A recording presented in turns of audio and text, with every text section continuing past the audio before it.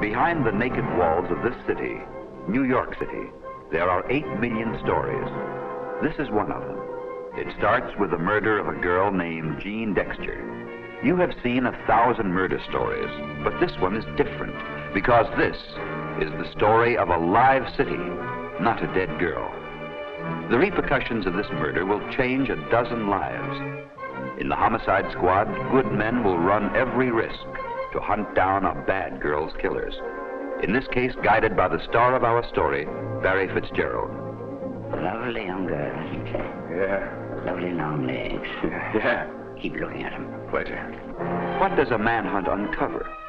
Lots of things you'd never suspect.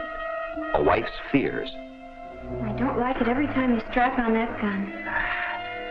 a mother's hate, No bright lights for her now, is there? She's at rest now.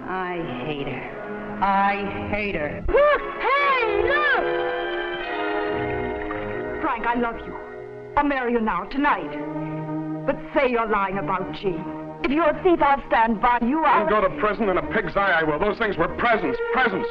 You're lying, you're lying, you're lying, you're lying, you're lying. Get this. Send out an emergency. Rush every available spot now. Block off the streets around it.